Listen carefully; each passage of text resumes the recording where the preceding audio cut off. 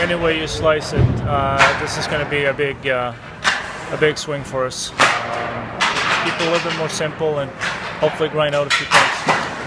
Just why do you think the, the team it, just, it seems to be a little bit more relaxed, or just uh, just play a little different? It just seems to play a little different on the road uh, than at home. I don't know for what reason. Uh, to a certain degree, I, I do agree with you.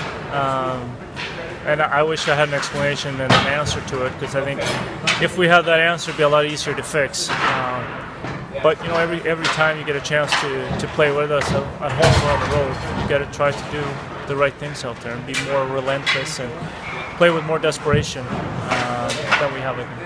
First couple games are division games too, and where you guys are in the standings now, looking up. The teams you have to beat, obviously, just Absolutely. to, to pass you know, them. they're four big games, both of them. Uh, so obviously, two big games coming up. And the, now that you have one on the power play, do you think that, that can sort of relax people? I sure hope so. You know, because you know that's one of the reasons why we're at where we're at. Uh, you know, I don't know how many games you could see that if you get a, a goal or two on the on the power play, the outcome could be a, a whole lot different. So, power play has to be a, a difference maker and in a good way and not in a negative way.